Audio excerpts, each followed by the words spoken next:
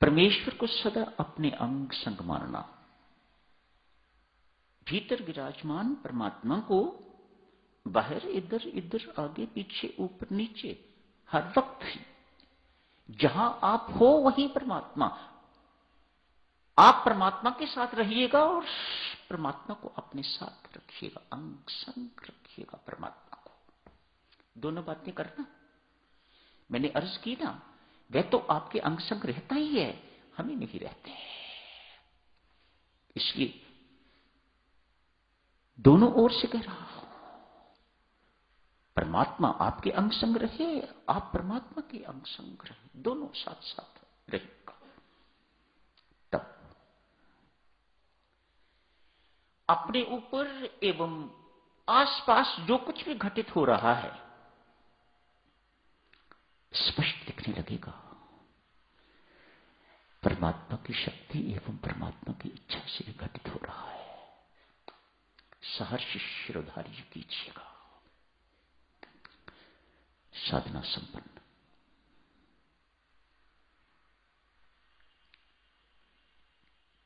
छोटी छोटी बातों में बहुत कुछ कहा गया है। सब कुछ जीवन में उतारिए तो साधना सफल परमानंद की प्राप्ति हो जाएगी। परम शांति की प्राप्ति हो जाएगी। आपके अंदर अजस्र अनइंटरप्टेड परमानंद की नदी प्रवाहित होने लग जाएगी।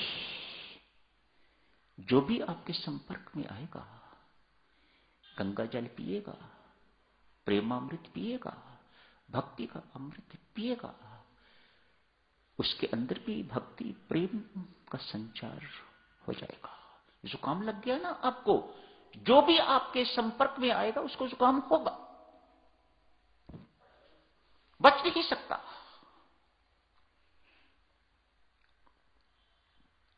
परमानंद की नदी, परमानंद की गंगा परम शांति की गंगा अपने अंदर प्रवाहित कीजिएगा। जीवन सफल हो गया, सार्थक हो गया। परमानंद की प्राप्ति हो गई। आज का दिन देवी सज्जनों, उस लक्ष्य को बार बार याद करने का दिन समय बहुत थोड़ा रह गया है। नो मोर डिले पहले ही ना जाने कितनी देरी हो गई हुई है अब देरी और न हो। जुट जाइएगा। उस परमानंद की प्राप्ति। भीतर विराजमान परमात्मा के साथ जुड़े बिना, उससे युक्त हुए बिना, उसकी चरण शरण में गए बिना, ये प्राप्ति नहीं होती। राम नाम की उपासना परमात्मा के साथ युक्त होने का उसकी चरण शरण में जाने का साधन है। जब तो करते हो देवी सज्जन आप। लेकिन किस काम के लिए जब कर रहे हो? इससे क्या हमें पाना है? इस बात का हमें बोध ही नहीं है। या, या जाप करते करते आप सब बातें भूल जाते हैं। सब बातें मतलब परमात्मा की याद नहीं आती आपको संसार की याद आती है। संसार को याद करने में आप बहुत माहिर हो। नाम तो जप रहे हो राम का, लेकिन राम को याद नहीं करते। श्री संत महात्मा जप की जगह पर कहते हैं, सिमरन करो। जिसका जप कर रहे हो, याद भी उसी की आनी चाहिए संसार की। नहीं, मैं सुनता नहीं। ऐसी मशीन की तरह नाम जप रहे हैं। ऐसे ही टेप की तरह नाम जप रहे हैं।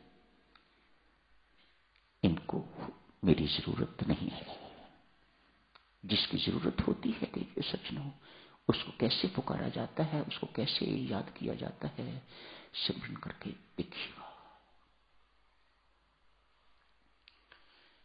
राम नाम जपना परमेश्वर के साथ युक्त होने का साधन है, साधक जनों। याद रखो मोटी सी बात, जब तक परमानंद स्वरूप, परमानंद के स्रोत, परम सुख के स्रोत, परम शांति के स्रोत,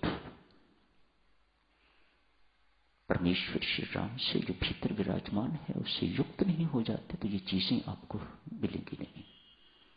मार हम कहाँ खाते हैं? स्रोत तो भीतर बैठा हुआ है और हम बाहर विश्व में, संसार में भटक रहे हैं।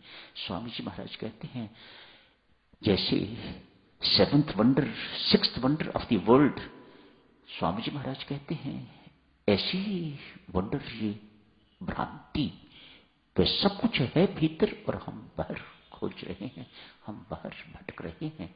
मानो जाना है जम्मू और जा रहे हैं हम मद्रास की तरफ़।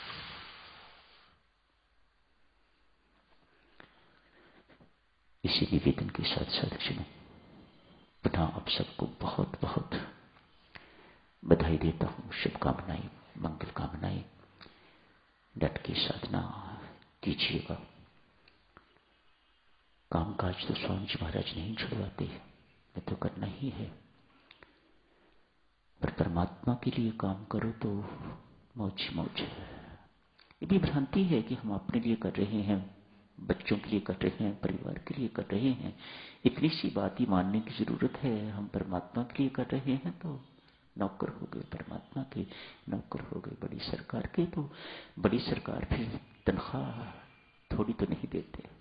वह तो मुक्ति से कम उनकी तनख्वाह है ही नहीं, परमानंद से कम उनकी तनख्वाह नहीं है। बहुत बढ़िया सैलरी देते हैं। बड़े आदमी की नौकरी कर रहे हो ना? छोटी कंपनी की नौकरी तो थोड़े पैसे मिलते हैं। सड़क पर मजदूरी करने वाला व्यक्ति सौ रुपया उसको रोज का मिलता है डेली वेजेस एक सौ दस रुपये, एक सौ बीस रुपये। मल्टीनेशनल कंपनी तो फिर चौदह हज़ार, पंद्रह हज़ार, बीस हज़ार, पच्चीस हज़ार। कितने कितने लाख का, क्या कहते हैं पैकेज कितने लाख का पैकेज